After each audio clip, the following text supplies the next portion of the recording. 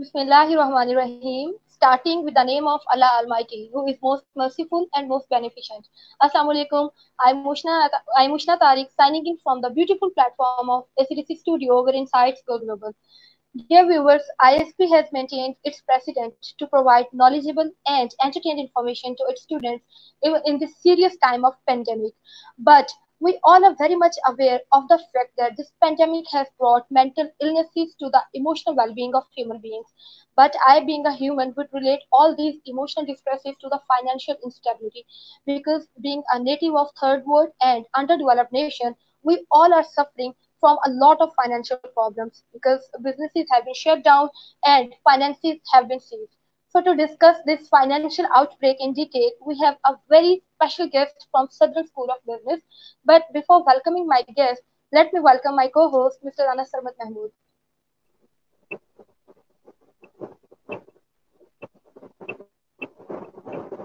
Bismillahirrahmanirrahim. Assalamu alaikum. This is Engineer Rana Sarmat Mahmood from the Department of Electrical Engineering, Institute of Southern Punjab, Multan.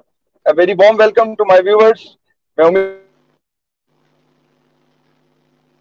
काफियत से रखे माशाल्लाह से हम अपनी रवायत को कंटिन्यू करते हुए आज एक और इंटरेस्टिंग टॉपिक आपके साथ लेकर आपके सामने पेश हुए हैं।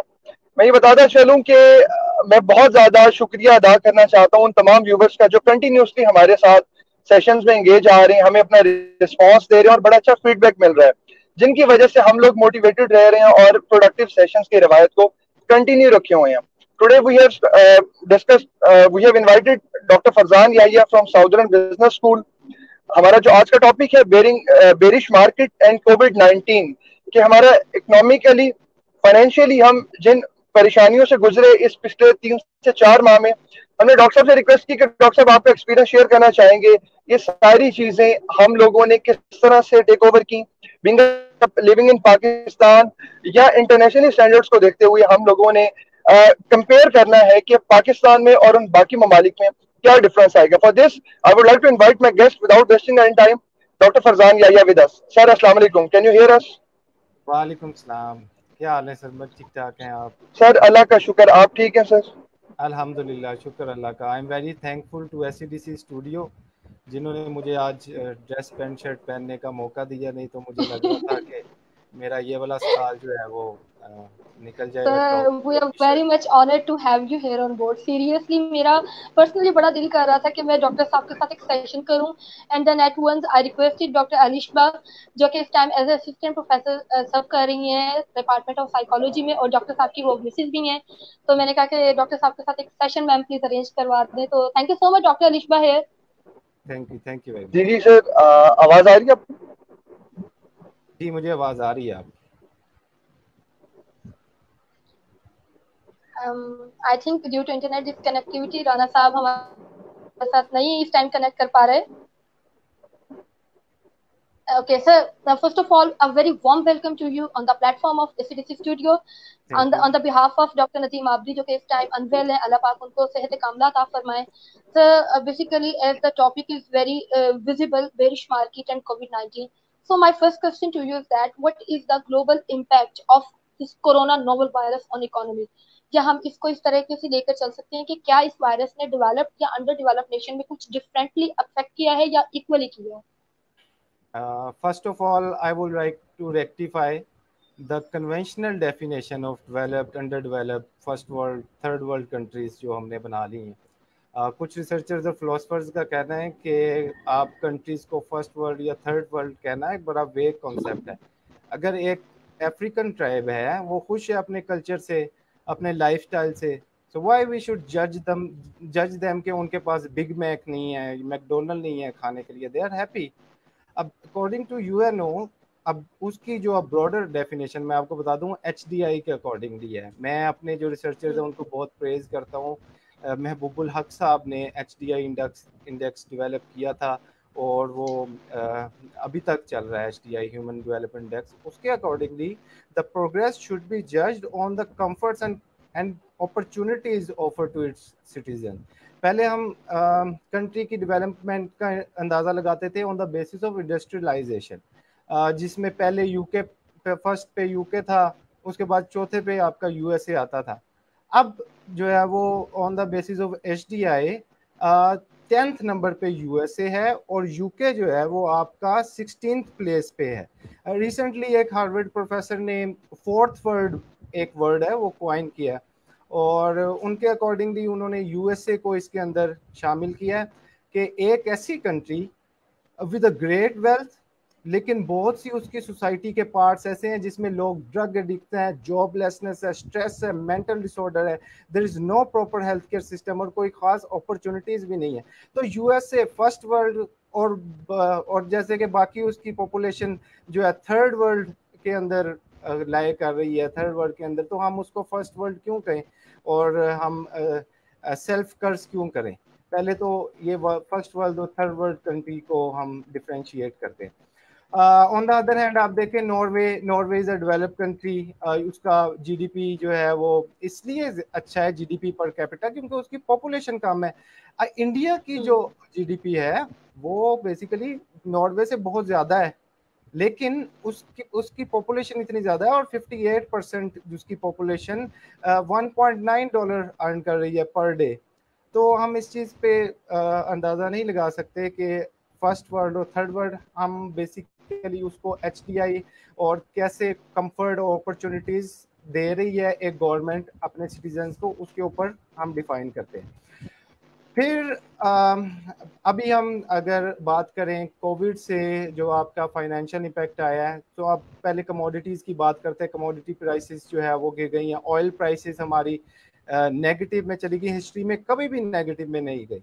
It is because of travel restrictions transport बंद है airlines were not operating oil consume ही नहीं हो रहा। सो इट इज़ क्लियर कि oil without consumption is nothing जो ऑयल डिपेंडेंट या ऑयल एक्सपोर्टिंग कंट्रीज़ हैं कोरोना वायरस ने उनको ये सोचने पे मजबूर कर दिया कि ऑयल बेस्ड इकोनॉमी अब नहीं चल सकती। Now you need to seek alternative opportunities इसी तरह आपको हम्म। Prices zinc agriculture related commodities सारी डिक्लाइन हुई है। रबर की प्राइस फॉर एग्जांपल रबर की प्राइस डिक्लाइन हुई है। सबसे ज़्यादा रबर कहाँ पे यूज़ होता है? आपके टायर्स में यूज़ होता है। गाड़ियाँ ही नहीं चलेंगी न्यू टायर्स मैन्युफैक्चर नहीं होंगे तो पुराने टायर्स को ही हम पंक्चर लगाएँगे ना। आगे अगर आप बात करें स्टॉक मार्केट की अनसर्टन सिचुएशंस की उसके अंदर जब ये अनसर्टन। या क्राइसिस पीरियड आता है ना उसके अंदर दो काम होते हैं। एक इन्वेस्टर्स अपना अपने स्टॉक्स को शफल करते हैं। एक इंडस्ट्री से दूसरी इंडस्ट्री में वो शफल करते हैं। हम्म। अब investors are usually investor sentiments are usually influenced by fear and panic जब थोड़ा सा उनको लॉस होता है तो अपना जो ट्रेडर है वो पैसा दूसरी इंडस्ट्री के अंदर शिफ्ट करना शुरू कर देता है और to seek better investment opportunities तो इसके अंदर हमें ये देखना है कि ओवरऑल एनॉमलीज जैसे ये पेंडेमिक खत्म होगा तो एडजस्ट हो जाएँगी but obviously we will see rebalancing and major shift of wealth from country to country जो क्राइसिस पीरियड होता है, उसके अंदर शॉर्ट सेलिंग का भी कॉन्सेप्ट मैं आपको ये बहुत मोटे मोटे जो वर्ड है, वो जरा जनरल टर्म में समझाऊं शॉर्ट सेलिंग का कॉन्सेप्ट है। आप एक प्राइस आपको पता है कि अब ये डिक्रीज होने जा रही है।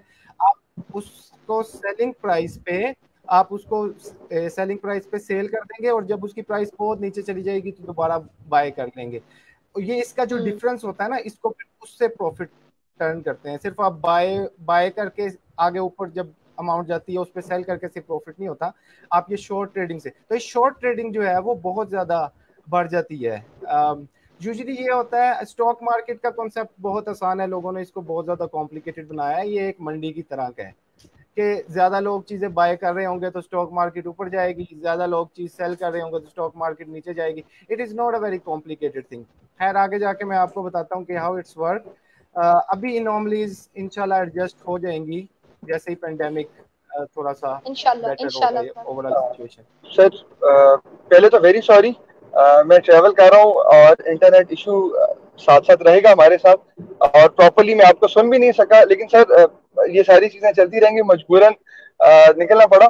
Sir coming towards my first question sir Pakistan में भी हमने ऑलमोस्ट चार माह में सारी चीज़ें देखी हैं जो कि इंटरनेशनली अमेरिका यूरोपियन स्टेट जितनी भी हैं उन्होंने फेस की हैं।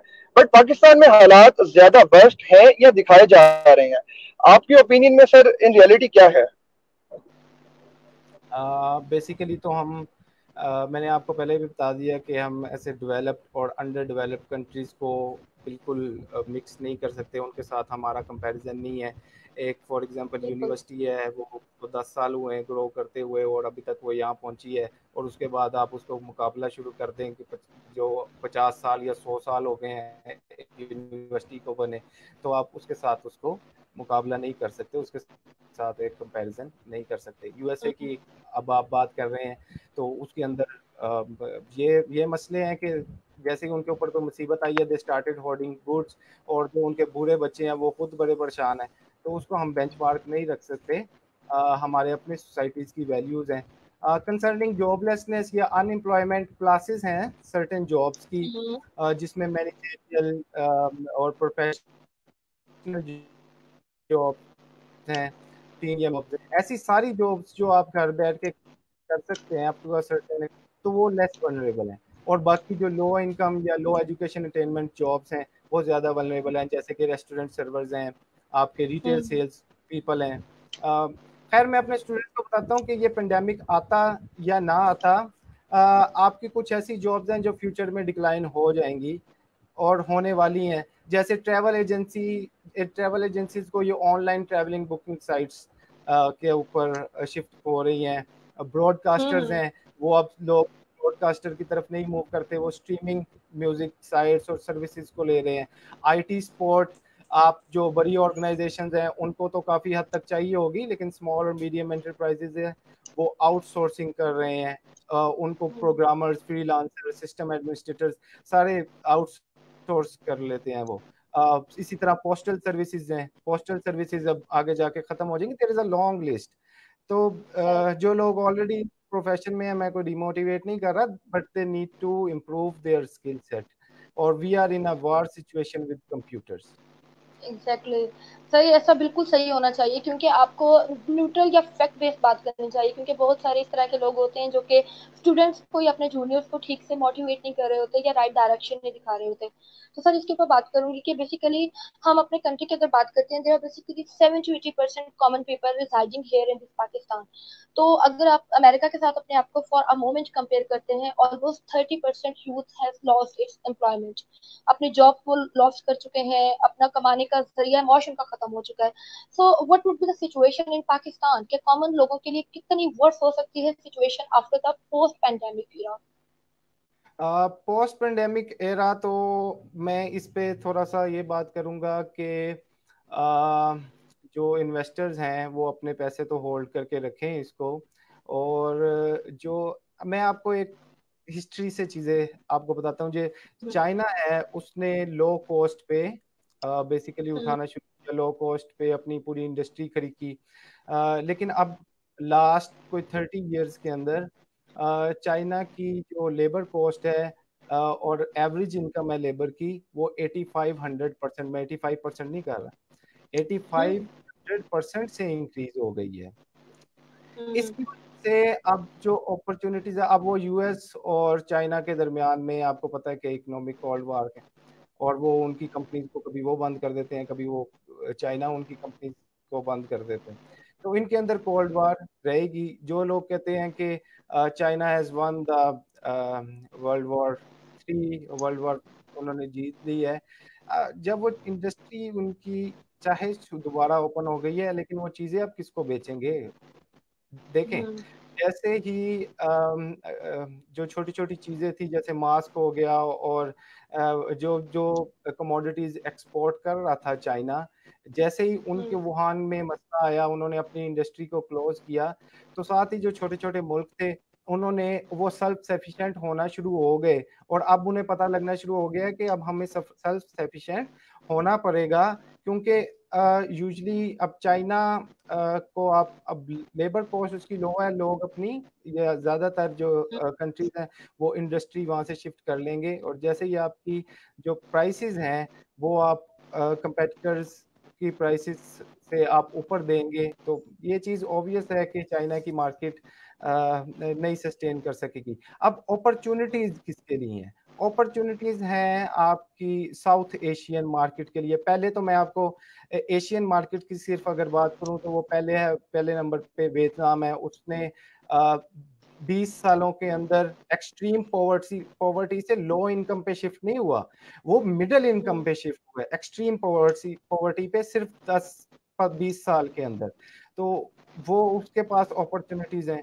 फिर अगर आप इंडिया पाकिस्तान, ये बांग्लादेश की बात करें तो ये एशियन टाइगर्स हैं अब ये आगे जाके इनके पास अपॉर्चुनिटीज़ आने वाली है क्योंकि इनकी आपको मैंने बताया बताया कि लेबर कॉस्ट बहुत कम है इंडस्ट्रीज़ अगर गवर्नमेंट पॉलिसीज़ थोड़ी सी बेहतर करे तो आपकी इंडस्ट्री हम्म। यहाँ पे सारी शिफ्ट होगी क्योंकि आपकी लेबर कॉस्ट कम है और आप जब मैन्युफैक्चरिंग ये चीज़ें बनाएँगे प्राइसेस को आपकी आप जो चीज़ डेवलप करेंगे उसमें चाइना के चाइना की नस्बत। ऑब्वियसली आपके पास टेक्नोलॉजी करप्शन और ये सारे मैक्रो इकोनॉमिक फैक्टर्स इन्वॉल्व तो हैं इसके अंदर लेकिन फिर भी आ, ये साउथ एशिया रीजन बहुत डेवलप करने वाला है आगे अकॉर्डिंग टू ये अगर सिचुएशन अगर इसी तरह रही और लेबर कॉस्ट हमारी कम रही और उनकी लेबर कॉस्ट ग्रेजुअली इंक्रीज होती रही तो। सही सही सही। डॉक्टर साहब how to prevent economical breakdown कैसे बचा जा सकता है? हमारे मुल्क के हालात तो नॉर्मली राउंड ईयर इसी तरह चलते रहते हैं। ये तो आप कोरोना के इल्ज़ाम हमने ठहरा दिया है। तो इसमें कसूर किसका है, सर? हम बिजनेसमैन को कह सकते हैं या हम सिविलियंस का अपना मेन रोल है इसमें?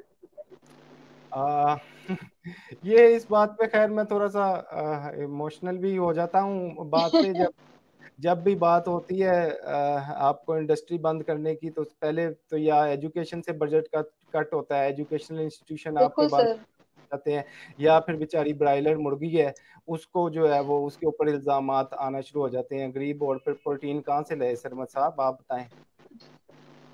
लेकिन सर, हमारी प्रायोरिटीज क्यों नहीं चेंज हो रही? हमारी ऑलमोस्ट हर साल कोई भी हुकूमत और प्रायोरिटीज में एजुकेशन नहीं है हेल्थ नहीं है रिसर्च का कोई बजट नहीं है, जो होता है, उसमें भी कट लगा दिया जाता है। तो हमारे का परेशान है। तो खुशहाल कौन है? हम फिर किस तरह खुशहाल मुल्क अपने आप को कह सकते हैं? हर कोई तो रो रहा है मीडिया भी रो रहा है, बैठ के हम लोग भी रो रहे हैं। खुशहाल कौन हुआ, सर? अब खुशहाली की अगर आप बात कर रहे हैं तो खुशहाल मुल्क तो फिर आपको मैंने जैसे बताया है कि हमारे जो मैयर्स हैं वो अगर आप इनकम रेस के अंदर लगाएँगे बेसिक नीड्स पूरी होनी चाहिए आपकी। आपके जो की है वो बेसिक नीड्स पूरी होनी चाहिए।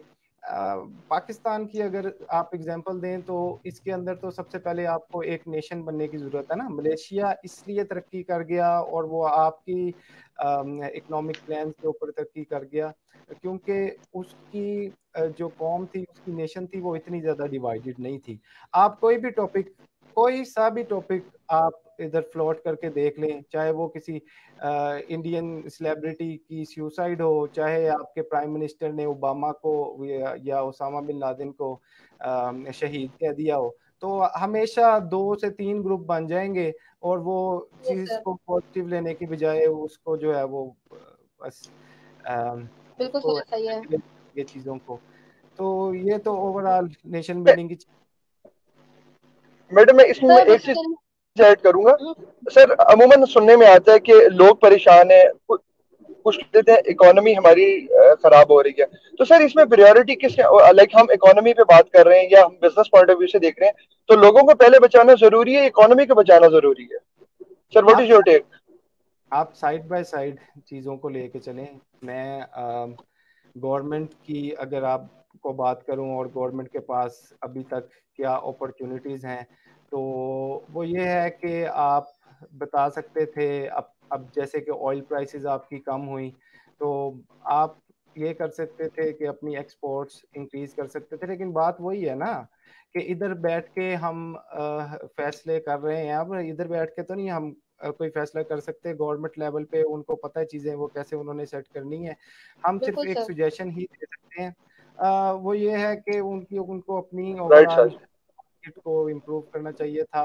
आ, लेकिन अब 60 परसेंट आपका जो एक्सपोर्ट है वो जाता है आ, जैसे चाइना में आपका यूके में यूएसए में 60 परसेंट एक्सपोर्ट अब उनके ऑर्डर आने बंद हो गए हैं तो आप कहाँ पे देंगे? ठीक है? अब अब ओवरऑल ये सिचुएशन इस तरह की है कि हर नेशन को अपनी ही पड़ी हुई है। यहाँ पे अगर मैं आपको बात करूँ कि कोविड नाइन्टीन की वजह से सबसे ज़्यादा स्कूल टीचर्स डिस्टर्ब हुए हैं। इवेंट प्लानर्स बहुत ज़्यादा डिस्टर्ब हुए हैं। उनकी अर्निंग्स तो बिल्कुल ही ख़त्म हो गई है। They have to seek other opportunities जो वो के अर्न कर सकते हैं। पहले तो शुक्र अदा करें अल्लाह ताला का वो सारे लोग के जो अभी तक अर्न कर रहे हैं और उनको सैलरीज आ रही हैं और उनको कोई इशू नहीं है ये तो सबसे पहले अल्लाह ताला का शुक्र अदा करें। फिर अपनी पर्सनल जो फाइनेंशियल प्लानिंग है उसको थोड़ा सा इम्प्रूव करें। पर्सनल फाइनेंशियल प्लानिंग में ये है कि वो अपनी पेमेंट्स जो है वो थोड़ी डेफर कर सकते हैं। जैसे बिल पेमेंट्स हैं क्रेडिट पेमेंट्स हैं गवर्नमेंट थोड़ी अगर रिलीफ दे रही है तो आप उसको अवेल करें। Don't rush into paying those paying those bills जो आपको जिसमें रिलीफ आ रहा है। Uh, अपने क्रेडिट कार्ड पेमेंट्स को आप अवॉइड करें। It will increase your debt burden जैसे आप 40 45 डेज़ में अगर आप पैसे उनको वापस कर देते हैं फिर तो कोई इशू नहीं है। लेकिन फिर भी पेंडेमिक की अनसर्टन सिचुएशन होती है। जितना डेट को अवॉइड कर सकते हैं आप डेट को अवॉइड करें। सिचुएशंस आर वेरी वॉलेटाइल आप अपने एक्सपेंसेस को कट करें। मैंने देखा है कि कुछ लोग बहुत ज़्यादा लग्जरी आइटम्स के ऊपर पैसा खर्च करते हैं to sustain a certain lifestyle सिर्फ़ एक लाइफस्टाइल को सस्टेन करने के लिए। People who really care about you उनको ये चीज़ों की ज़रूरत नहीं है। बाकियों को आप अपना फ़ोन भी पिला देंगे तो उनको कोई फ़र्क पड़ता नहीं है। सो so, मैं so, तो मैं तो हमेशा ये कहता हूँ ये ये ये तो लिख लें आप लोग अगर आपके पास ये बात नहीं लिखी हुई कि don't try to impress someone until you are paid to impress someone it's really perfect sir आप एक इकोनॉमिस्ट होने के साथ साथ आई थिंक एक मोटिवेशनल स्पीकर भी है। Okay sir next question. uh, basically since the inception of this pandemic we being the native of pakistan seriously under the condition of lockdown अगर हम लॉकडाउन की बात करते हैं we were under complete lockdown but with the passage of time हम partial lockdown की तरफ़ move कर गए but right now अगर हम आज की बात करते हैं we are under smart lockdown so basically what kind of economic variations have you been observed as a financial advisor Uh, पहले तो मैं खैर गवर्नमेंट की थोड़ी सी uh, बात करूँगा मैं हमेशा प्रो गवर्नमेंट चीज़ें डिस्कस करता हूँ regardless of any government situation क्योंकि गवर्नमेंट पॉलिसीज़ अभी हम इधर घर बैठ के तो नहीं सिचुएशंस का अंदाज़ा लगा सकते लेकिन ऑब्वियसली मुझ अभी ऑब्ज़र्व किया है मैंने सॉरी सर्टेन अनसर्टेनिटी उनकी डिसीज़न मेकिंग में। पहले सोच रहे थे कि टेम्परेचर की वजह से वो ये कोरोना जो है वो मर जाएगा फिर वो वो प्लान नहीं चला। तो आगे they are focusing on herd immunity के 80 परसेंट को पॉपुलेशन को अफेक्ट हो जाए एंटीबॉडीज डेवलप हो जाएँगी इवन कोविड फिर कोविड पॉजिटिव भी होगा वो आगे ट्रांसमिट नहीं करेगा। लेकिन इसके लिए भी आपको थ्योरी ये सपोर्ट करने के लिए भी आपको ये you have to lost many live और इनका कंक्रीट कोई एविडेंस नहीं है अभी हार्ड इम्यूनिटी का। अब खैर government government is still facilitating your people लोग एसओपीज ही फॉलो नहीं करते। जहाँ फोर्सफुली आप करवा दें आप उनको डंडे पे डंडे की ज़ोर पे आप करवा दें तब वो कर लेंगे। फिर आप आप अगर खुद एसओपी फॉलो करें तो लोग आपको नहीं करने देते। आप किसी काउंटर पे कोई चीज़ लेने चले जाएँ आप छह फीट का फासला रखें वो चार लोग आगे हम्म। आगे पहुँच जाएँगे। वो फिर आप, आप भी आपने चीज़ पूरी रात खड़े रहिएगा आप। सर मैं इसमें एक चीज़ ऐड करना चाहूँगा। सर मोस्टली हम लोग देखते हैं कि लाइक आप बिज़नेस डिपार्टमेंट से हैं। और आपकी फ़ील्ड है, आप बेहतर जानते हैं। हम लोगों से और बहुत से जो इससे रेलिवेंट फ़ील्ड वाले हैं।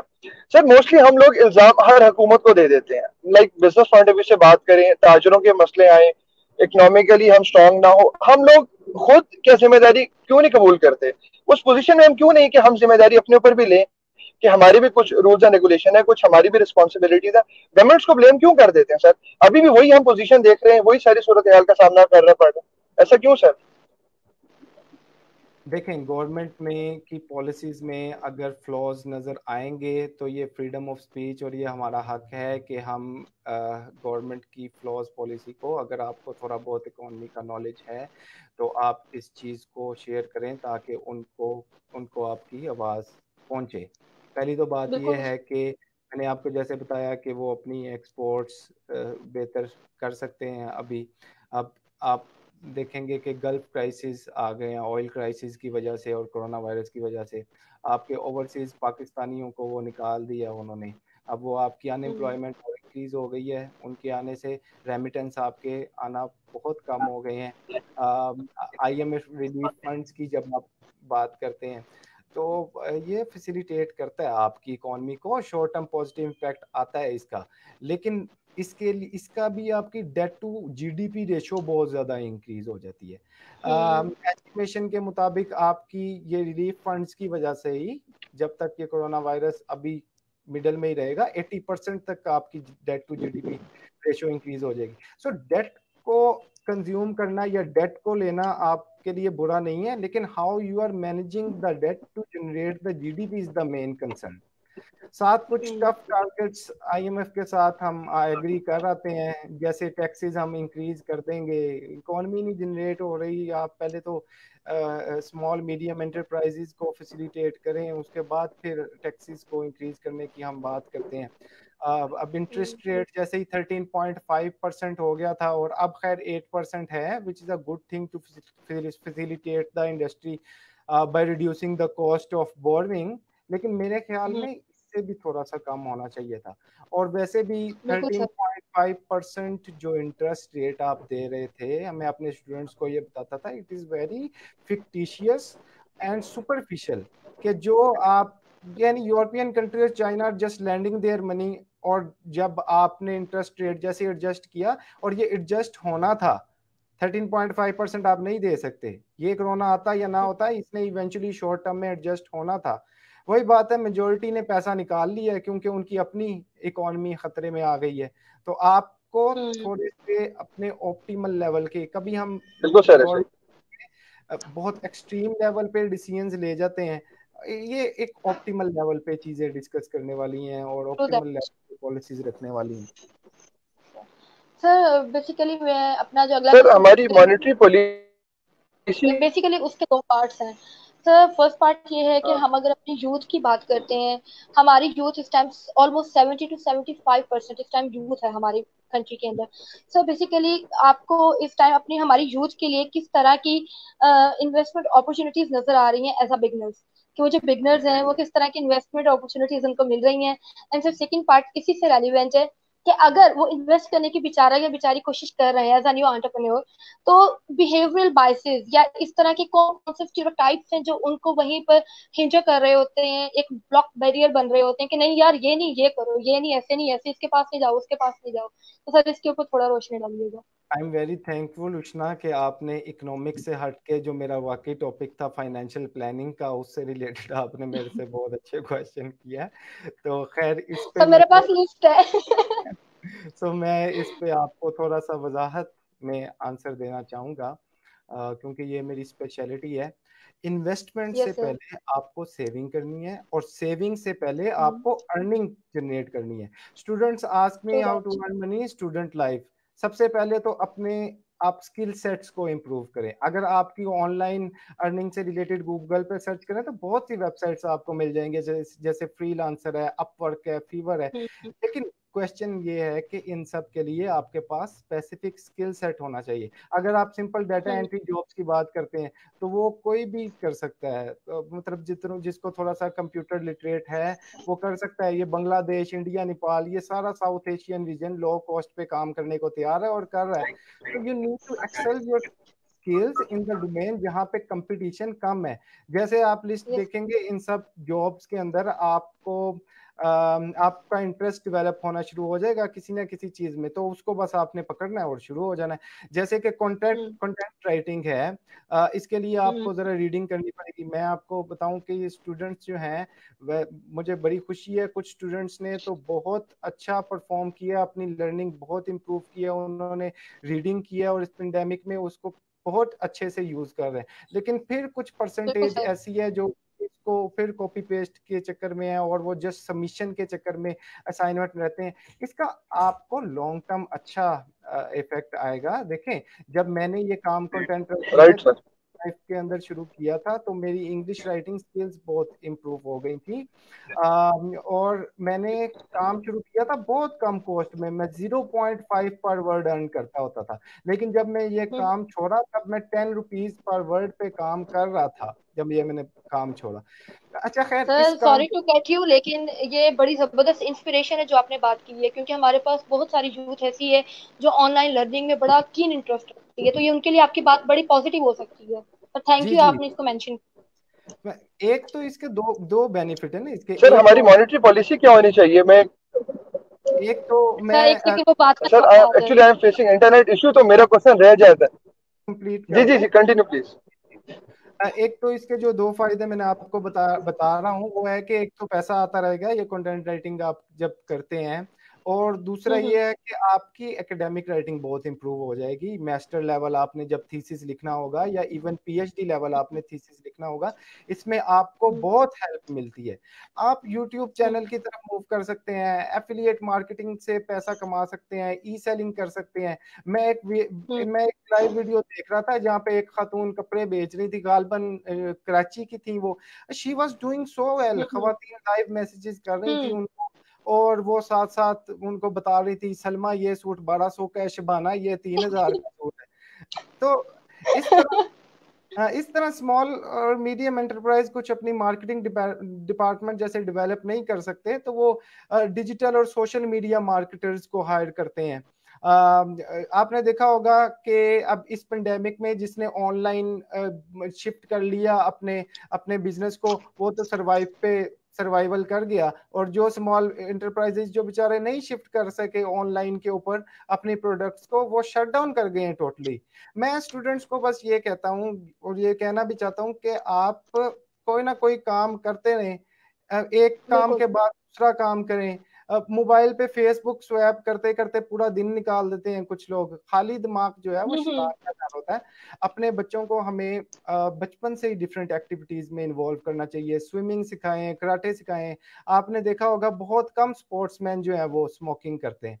वो वाले स्पोर्ट्समैन की हर बात नहीं कर रहा वो दो दिन जो जिम जाके वो सेल्फी लेके वो पूरा लेकिन देखें आप जो स्ट्रेसफुल सिचुएशंस आती हैं तो स्पोर्ट्समैन चर्च पीने नहीं जाता। दे हैव डिफरेंट तो अगर हम अपने बच्चों को बता रहे हैं कि अगर ये वाला काम नहीं करना तो आप साथ ये भी बताएँ कि भाई भाई ये वाला काम करना है। हम सिर्फ़ बताते हैं कि ये वाला काम नहीं करना। हम ये बताते ही नहीं है फिर कौन सा काम करें?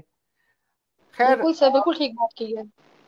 अच्छा नाउ अब मैं थोड़ा सा आपको इन्वेस्टिंग की तरफ़ आ रहा हूँ। ये थोड़ा सा हमने इन्वेस्ट हमने सेविंग के ऊपर बात कर दी। मैं टाइम भी कम है। मैं काफ़ी बातें हैं जो मैं कंसाइजली उसको डिस्कस करना चाह रहा हूँ। एक तो now once you have to start some cash flow for your yourself अभी आ गई है तो now it's time to learn money management and saving. ज़्यादातर लोगों के साथ ये इश्यू होता है कि जैसे अर्निंग इंप्रूव होती है वो अपने एक्सपेंसेस भी इंक्रीज कर लेते हैं। और इवेंचुअली अपनी लाइफ के हिसाब से एडजस्ट कर देते हैं। एक साल आप अपने आप को स्पेशली पहले तो अपने आप को बताना है, फिर अपने घर वालों को बताएँ कि इस साल इंक्रीमेंट नहीं लगा, बस वो, मेरी जॉब अच्छी नहीं है। और वो इंक्रीमेंट जो है, वो म्यूचुअल फंड के अंदर इन्वेस्ट कर दें, साल बाद आपको पता चलेगा कि कुछ ना कुछ आपको बड़ा फ़ायदा हुआ है और एक दो और एक दो महीने वो आपको ताने मारेंगे घर वाले, उसके बाद वो उसी एक्सपेंसिस के ऊपर एडजस्ट हो जाएँगे। तो सबसे हम्म, हम्म, पहले तो आप एक बजट डिज़ाइन करें अपनी अर्निंग लिखें उसके ऊपर एक्सपेंसेस लिखें और आप देखेंगे कि कौन से एक्सपेंस आप कर सक कर कट कर सकते हैं। आउटसाइड फ़ूड और गैदरिंग पे इतना ज़्यादा पैसा खर्च ना करें मैं मैं बिल्कुल मना नहीं कर रहा आपको लेकिन it yes it facilitates the economy लेकिन saving savings leads to investment foreign brands को आप अवॉइड करें। जैसे आपने सलमान खान की मूवी देखी लोग दस हज़ार की जैकेट लेने निकल जाते हैं। अपने लोकल ब्रांड्स को आप प्रमोट करें। एक तो इससे कम्युनिकेशन स्किल्स जो है वो आपके इम्प्रूव हो गए आपकी बार्गेनिंग पावर इम्प्रूव हो अगर आप बार्गेन करते हैं चीज़ों को। आप आपने देखा होगा कभी आप सुपरमार्केट से प्राइस देखे बगैर कोई चीज़ उठा लेते हैं आपको महँगी लग रही है तो छोड़ें उसको अल्टरनेटिव यूज़ चीज़ यूज़ करें। आपकी नीड जो पूरी सिर्फ़ ये लोग क्या कहेंगे अब मैं परचेज नहीं करूँगा तो लोग देख रहे हैं शर्म के मारे खरीद लेते हैं कोई नहीं कोई खाने नहीं लगा आपको रखते हैं कोई मसला नहीं। किसी को फ़र्क नहीं पड़ता। और दूसरा एक जो स्पेसिफिकली बहुत ज़्यादा एक इम्पोर्टेंट चीज़ है education is your asset education पे आप जितना पैसा लगा सकते हैं एजुकेशन पे पैसा लगाया कभी जाया नहीं होता।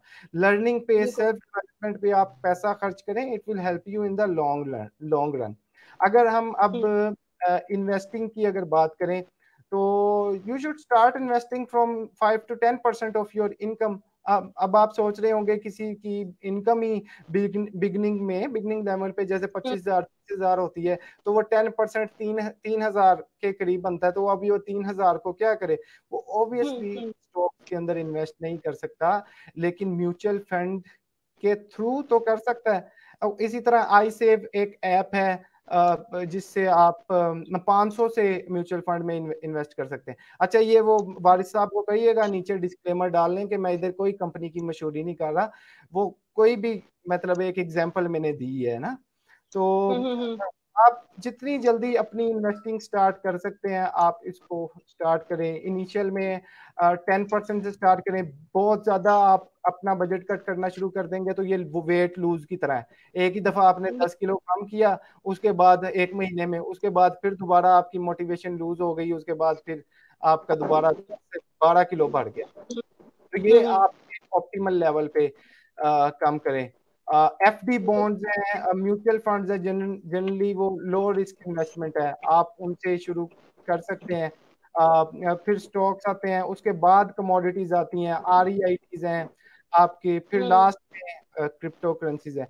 बेसिक जो इंटरमीडिएट। लेवल पे या बेसिक या इवन इंटरमीडिएट लेवल पे मैं बिटकॉइन में इन्वेस्टमेंट को डिस्करेज करता हूँ इसमें वॉलेटिलिटी बहुत ज़्यादा है और इसमें ये होगा कि अगर आपको प्रॉफिट होगा तो आप ओवर कॉन्फिडेंस हो जाए और ओवर कॉन्फिडेंट हो जाएँगे और अगर आपको इसमें लॉस होगा तो आप फिर दिल हार के बैठ जाएँगे R I T R E I T और कमोडिटीज जो है वो इंटरमीडिएट इन्वेस्टमेंट है ये आपकी अब जब इनकम थोड़ी मेच्योर होती है तो आप अपना एटलीस्ट जब फिफ्टी परसेंट अपनी income without compromising your needs invest कर सकते हैं फिर आप जाके करें।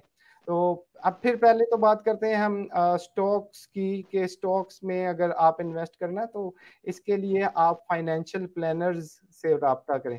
अब ये इतना मुश्किल नहीं है। अब वारन बुफे वारन बफे का आपको पता होगा उसे किसी ने इंटरव्यू कि इसमें इन्वेस्ट स्टॉक्स में इन्वेस्ट करना अगर इतना आसान है इतनी कॉम्प्लेक्सिटी क्यों है फिर? तो उसने कहा कि ये फाइनेंस प्रोफेसर की वजह से है पागल से हैं ये? रोज कोई नया फॉर्मूला हम्म। उठा के ले आते हैं वो चीज़ें एक सैंपल को टेस्ट करने के लिए। उन्होंने चीज़ें जो है वो ज़्यादा टफ कर दी हैं। तो अब आपको मैं बताऊँ कि लोगों का फियर क्यों है? लोग स्टॉक मार्केट में इन्वेस्ट क्यों नहीं करते? जनरली पब्लिक पब्लिक जो इन्वेस्ट डायरेक्टली इसलिए नहीं करती। एक तो फियर है पैनिक है, वो लार्ज इन्वेस्टर्स ने क्रिएट किया हुआ है कि तबाह हो जाओगे, बर्बाद हो जाओगे और अब लोग अपने इरेशनल डिसीज़न की वजह से वो बिल्कुल सर, ठीक कह रहे हैं आप। मैंने मैंने क्या था कि स्टॉक्स में इन्वेस्ट अब अब वो कहते हैं बड़ा नुकसान होगा। पहले तो बात है कि अगर आप एक एबीसी कंपनी के अंदर इन्वेस्ट करते हैं जिसका आपको पता ही नहीं है कि क्या है उसकी मैनेजमेंट का नहीं पता उसकी पास्ट परफॉर्मेंस क्या है ये नहीं पता आपको उसकी शेयर होल्डर नीड्स उसने कैसे पूरी की है पास्ट में उसकी प्रोडक्ट लाइन क्या है बस दोस्त ने कहा पैसा लगा दो। तो वो ऑब्वियसली और वो दोस्त ने कहा पैसा लगा दो इसमें दूध की नहरें बहने वाली हैं। लेकिन वो इवेंचुअली आपको उसके अंदर लॉस होगा।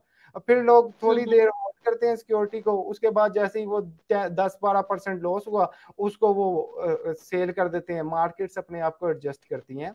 शॉर्ट टर्म न्यूज़ की वजह से जैसे अब क्राइसिस पीरियड आ गया है इसकी वजह से वो एडजस्ट करते हैं। तो उसको आप होल्ड करें लेकिन स्ट्रक्चरल इश्यूज़ ना हो जैसे पी आई ए और फिर दूसरा हम्म, मसला हम्म। ये है पाकिस्तानी स्टॉक मार्केट के अंदर ना इतना ज़्यादा ईज नहीं है। आप काफ़ी डॉक्यूमेंट्स देने पड़ते हैं। अगर छोटी इन्वेस्टमेंट है तो वो ज़्यादा से ज़्यादा आप तीन चार पोर्टफोलियो तीन चार स्टॉक्स का पोर्टफोलियो बना लेते हैं क्योंकि आपको पूरी लॉट उठानी पड़ती है। सेकंड लॉन्ग टर्म जो इन्वेस्टमेंट के लिए कोई टैक्स रिबेट नहीं है। आपके पड़ोसी मुल्क में इंडिया के अंदर अगर आपने एक साल होल्ड किया है तो आपको ज़ीरो टैक्स देना है कोई टैक्स नहीं देना आपको कैपिटल गेन के ऊपर। वो आपका पंद्रह परसेंट हुआ है चाहे बीस परसेंट हुआ है चाहे पचास परसेंट हुआ है। अब टैक्स हम्म। अब यहाँ पे आप अगर टैक्स फाइलर हैं तो आपको पंद्रह परसेंट टैक्स गेन पंद्रह परसेंट टैक्स देना है। अगर आप नॉन फाइलर हैं तो आपको पच्चीस परसेंट टैक्स देना है। तो पोर्टफोलियो अगर अच्छा सेट हो तो इसके अंदर मसला नहीं होता। मेरा एक पोर्टफोलियो इवन क्राइसिस पीरियड में पॉजिटिव में है और एक मेरा पोर्टफोलियो का 0.05 परसेंट लॉस है। इसका मतलब है मैंने एक लाख अगर इन्वेस्ट किया तो पचास रुपए लॉस है जिस अब आजकल पचास रुपए में तो वाकई बड़ा शुरमा भी नहीं आता।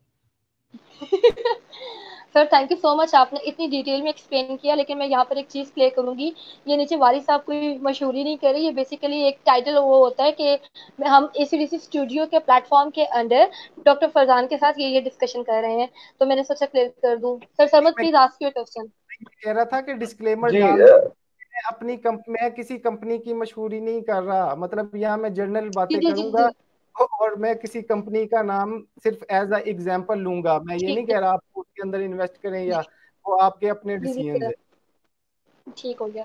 डॉक्टर साहब मॉनेटरी मॉनेटरी पॉलिसी जो है एक मुल्क की ग्रोथ में कितना अपना एक अपना क्या कहते हैं उसका रिज़ल्ट बेहतर करने में कितना फ़ायदेमंद हो सके? लाइक अब शरह सूद काफ़ी कम हुई है ठीक हो गया। हमारे मुल्क की ग्रोथ में इसका कोई बेटर रिज़ल्ट मिलेगा? हमें पॉजिटिव रिस्पॉन्स मिलेगा? और सेकेंडली मैं सर दूसरा क्वेश्चन भी साथ ही ऐड कर दूँ। दूसरा क्वेश्चन ये था मेरा सर कि अब नॉर्मली हम देख लेंगे लेट से आज या कल में कोविड खत्म हो जाता है तो हमारा मुल्क पाकिस्तान कितने टाइम में अपनी असल पोजीशन पे बहाल हो सकता है?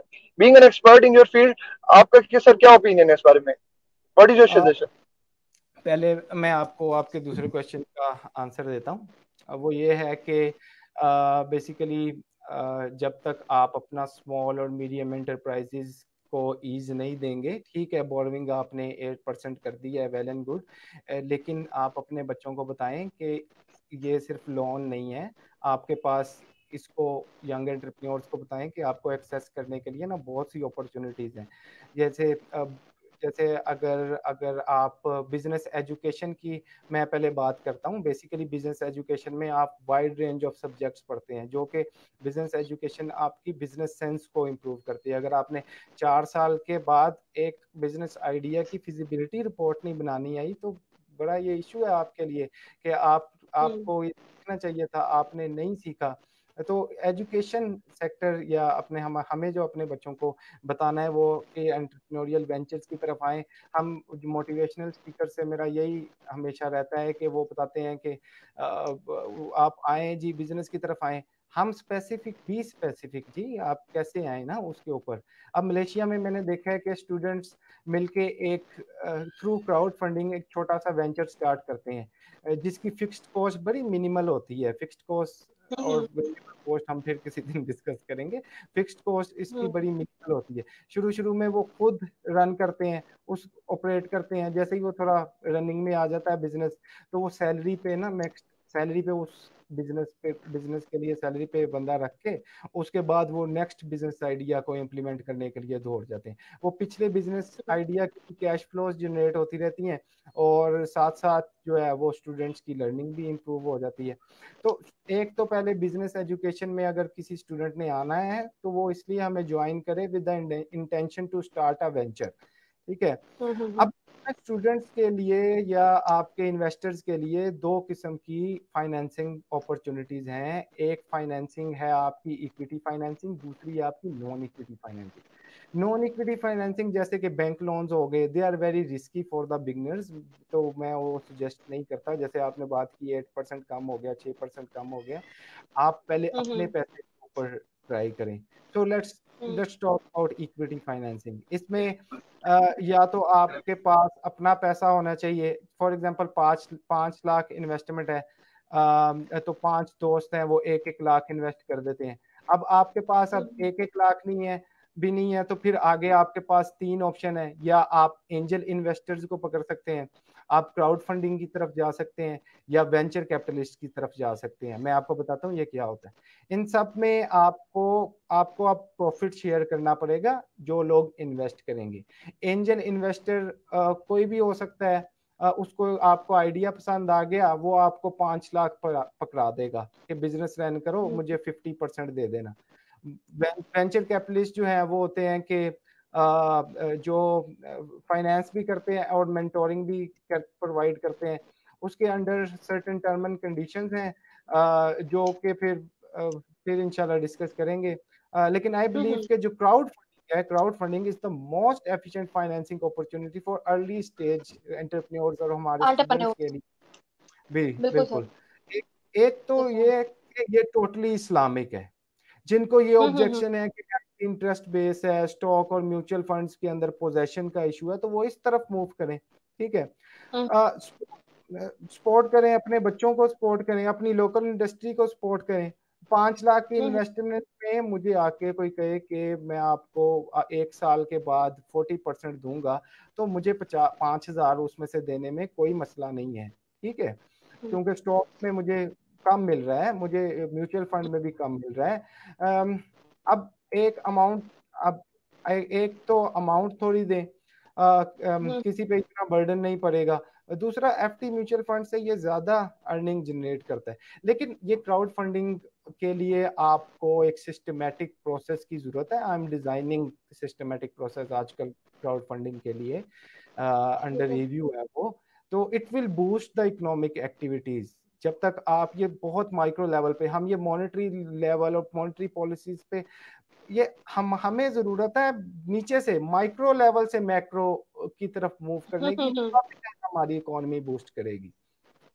यस सर सर आपने जैसे एंटरप्रेन्योरल इंटेंट की बात की है कि हमें बिगिनर्स के लिए या यंगस्टर्स के लिए कौन कौन से लेवल ऑफ़ फाइनेंसिस की तरफ़ मूव करना चाहिए तो सर, अगर मैं इकोनॉमिक डिस्ट्रीब्यूशन की बात करती हूँ कि वेस्ट डिस्ट्रीब्यूशन हमारे कंट्री के अंदर बड़ी वेरिएटेड है, बड़ी डिस्क्रिमिनेटेड है। तो मतलब कुछ हमारा तबका ऐसा है जो अमीर तर है, कुछ तबका है गरीब तर है।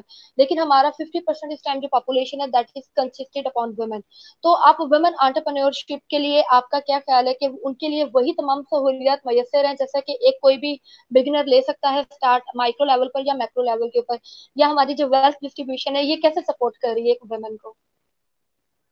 आ, अच्छा इसके लिए मुझे अब पता नहीं ये शेर किसका है।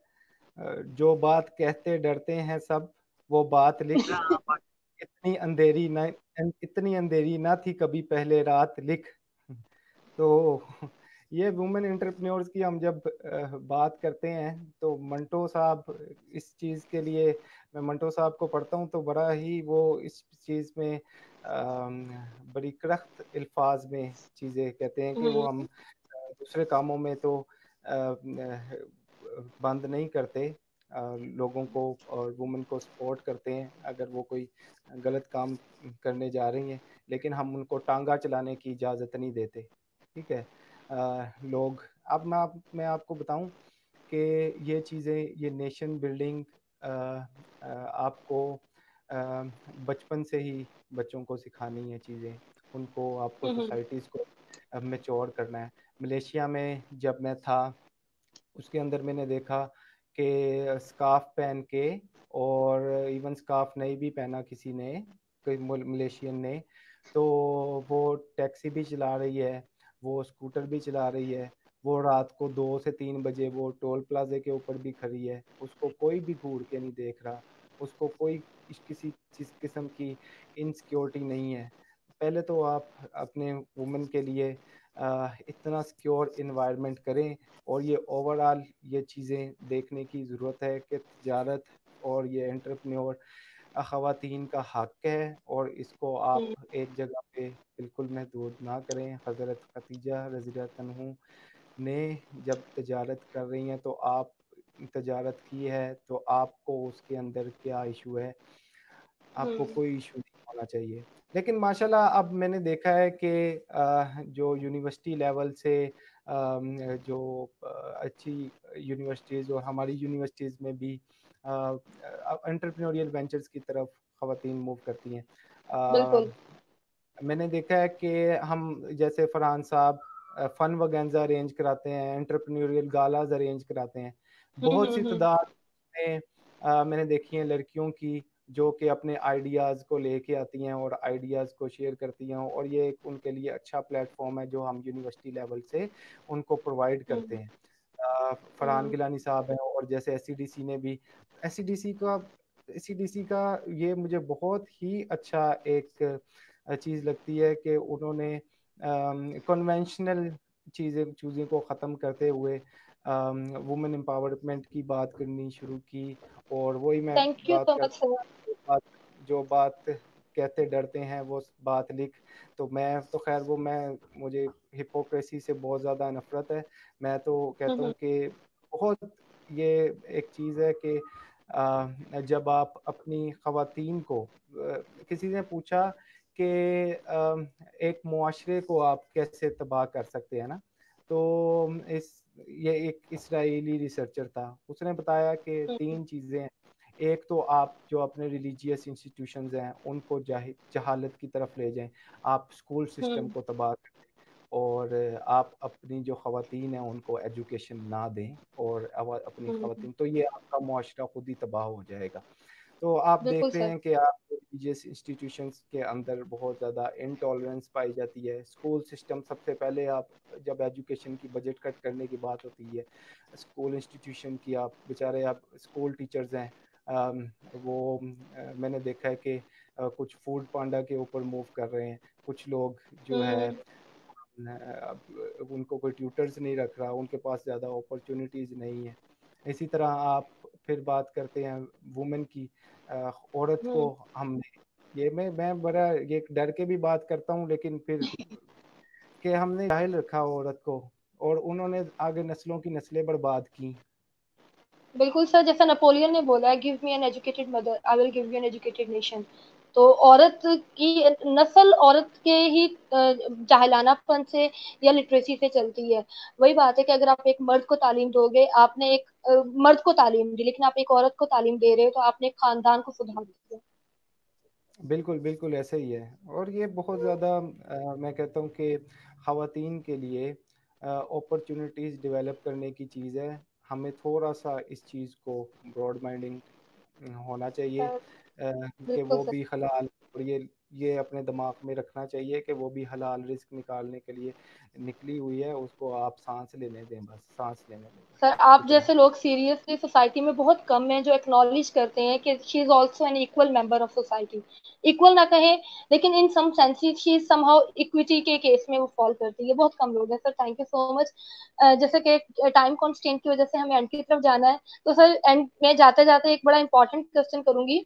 तो वही बात है हम रिटायरमेंट की तरफ़ आ गए हैं। हमारा जो सीनियर सिटीजन एज है वो सिक्सटी ईयर इस टाइम तो sir how to plan for retirement आप इसके बारे में sir as a business venture या आप एक इकोनॉमिस्ट क्या हमें सजेस्ट करेंगे कि हमें रिटायरमेंट प्लान कैसे करना चाहिए इसके लिए तो मैं पहले आपको एक बात बताऊँ कि मार्केट जैसे स्टॉक मार्केट है ना वैसे ही लेबर मार्केट है। ये इवेंचुअली हम्म। अपने आप को एडजस्ट करती हैं।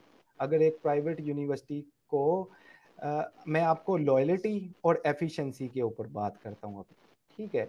हम्म। अगर आपके एम्प्लॉय प्राइवेट यूनिवर्सिटी प्राइवेट जो इंस्टीट्यूशन है या प्राइवेट जो ऑर्गेनाइजेशन हैं उनके लिए कौन से वर्कर्स हम्म। है?